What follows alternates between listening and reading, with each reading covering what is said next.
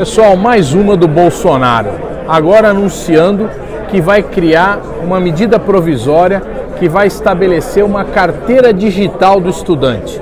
Qual é o objetivo disso? Acabar com a carteirinha da Uni, da UBS e da Associação Nacional de Pós-Graduação, que garante meia entrada no transporte para os jovens estudantes. É um verdadeiro absurdo. O objetivo disso é impedir que essas entidades estudantis tenham direito a recursos, a levantar recursos para a sua atividade de mobilização dos estudantes. Eles querem sufocar o movimento estudantil financeiramente, assim como estão tentando fazer com o movimento sindical, onde eles cortaram a, os recursos do movimento sindical e até tentaram impedir a cobrança de mensalidades nas entidades sindicais.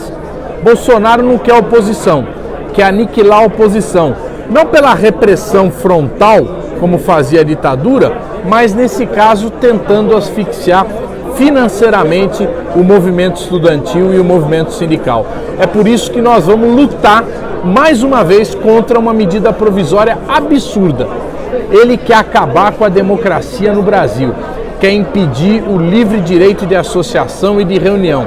E isso nós não vamos aceitar. Vamos para a luta, assim como nós derrubamos a MP do movimento sindical, vamos derrubar também essa medida provisória. Vamos colocar os estudantes em movimento para exigir o seu direito de organização e o direito de financiamento dessa organização. Vamos para a luta, minha gente.